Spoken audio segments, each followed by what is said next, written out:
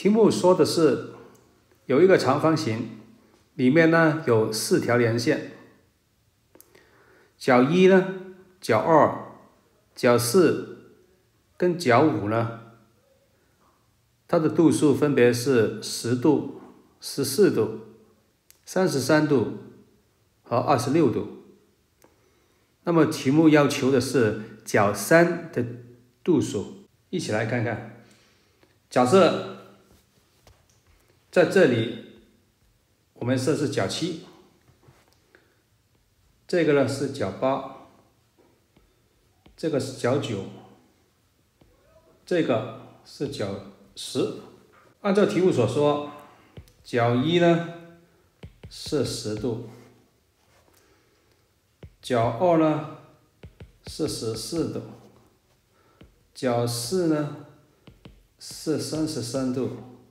角五是二十六度，这个是长方形，所以这个角是直角，所以最上边的一个三角形呢是一个直角三角形，所以呢角七呢就应该是九十度减角一，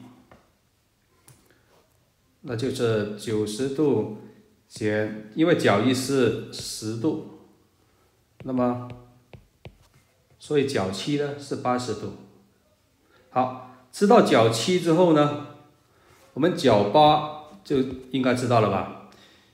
因为是一百八十度，因为角七、角二、角八加起来是一百八十度，那所以呢，角八呢就是一百八十度减角七再减角二。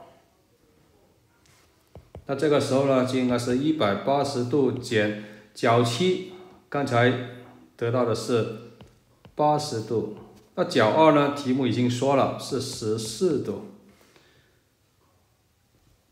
那么得到的是一百八十减八十再减十四，就是八十六度。那么在最下面的也是一个直角三角形。角十就是应该是因为这里也是九十度，角十呢也就是九十度再减角五，那就应该是九十度减角五，角五是二十六度。题目已经告诉了，那么九十减二十六就应该是六十四度，那么角九是应该多少呢？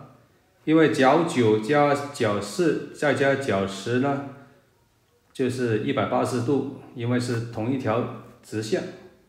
那么角九呢，就应该是一百八十度减角四再减角十。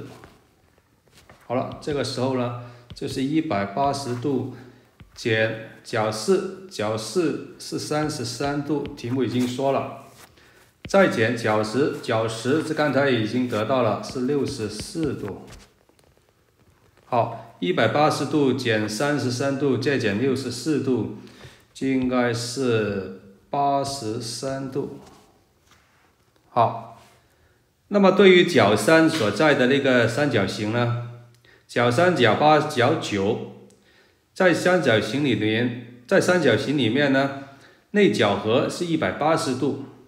那么，所以角三的度数呢，就应该是一百八十度减角八，再减角九。好，因为角八八十六度，角九是八十三度，那所以呢，一百八十度再减角八，八十六度再减八十三度。也就是一百八十减八十六再减八十三，那得到了就是十一度。那所以角三呢，就是十一度。